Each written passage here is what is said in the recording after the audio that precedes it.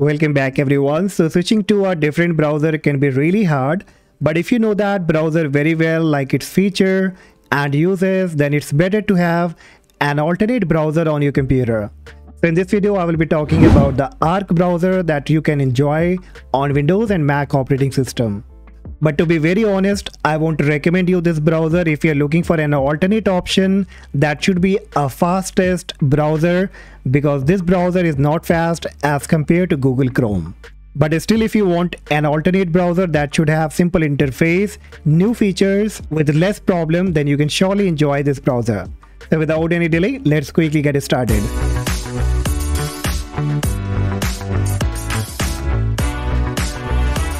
In order to download the browser, you will have to come to this website arc.net and here you can download for Windows 11 or you can download for Mac operating system. I will go with Windows here. So I will simply click on it and it will be quickly downloaded. So click on the downloaded file and it will be quickly downloaded and bring up this kind of dashboard.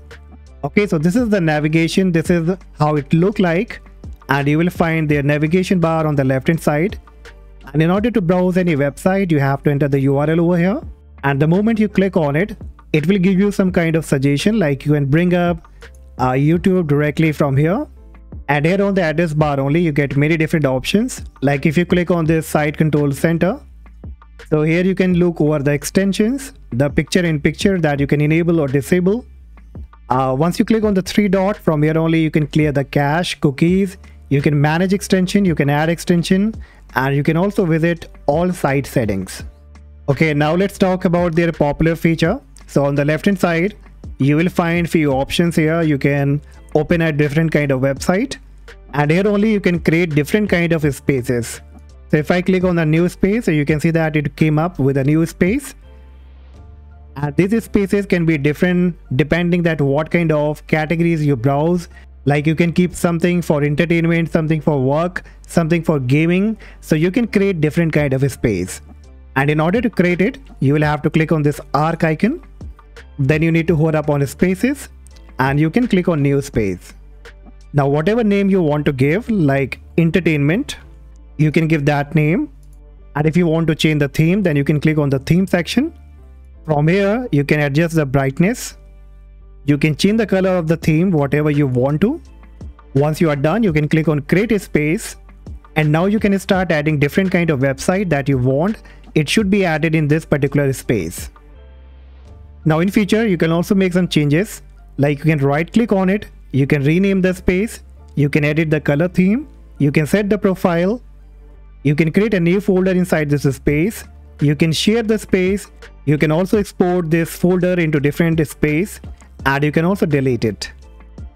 And in order to switch between different spaces, you will have to click on this uh, dot icon at the bottom and you can switch to different kind of space. Additionally, there are many more options. Like if I click on the arc icon here, you can set arc as default browser. You can check for the update and you can also manage the extension.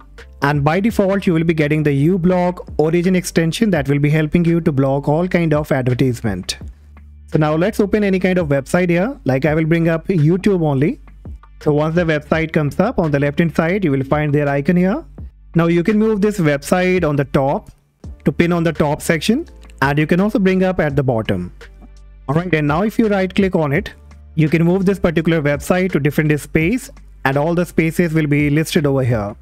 And now probably you might have a question that you will always find this navigation on the left hand side. Now you can also switch to a full screen mode. For that you have to click on this icon that says toggle sidebar. And you can see that the screen has been moved to the full screen. Apart of that you get many other options like you can also split the screen. For that on the right hand top you will have to click on this split view option. And it will ask you at right split or left side. So wherever you want to add, like I will add on the right hand side, so I will select it. Then I have to open that particular website that I want on the right hand side. So for this, again, I will bring up Google.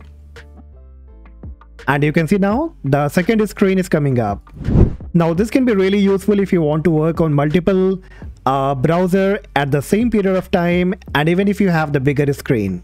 And not only two, again you can click on it, add right URL Again, open up any website and this will be split it into three different screen. So this is another benefit useful feature that I got on this browser. And now in order to bring up the navigation bar at the left hand side, again you have to click on toggle sidebar and the navigation bar will be coming on the left hand side. Now let's talk about their settings. If I click on the arc icon, then click on settings. Now here you can add a different profile. And once you have added any profile, you need to click on it. And from here, you can manage many kind of settings like search engine, you can manage here. You want to go with Google, Yahoo, DuckDuckGo, or Microsoft Bing. You can include search engine suggestion. If you want to disable, you can disable it. And a part of these option, if you want to additionally enjoy the other kind of settings like clearing the browsing data, managing privacy and security, passwords, so you can manage from the below link. Alright, so that's all guys for today. Hopefully you found this Arc browser really useful. I really like the navigation and their features. And if you want to enjoy any other alternate browser, then you can go with this browser. Let me know your feedback about this browser and I see you in the next video. Bye-bye.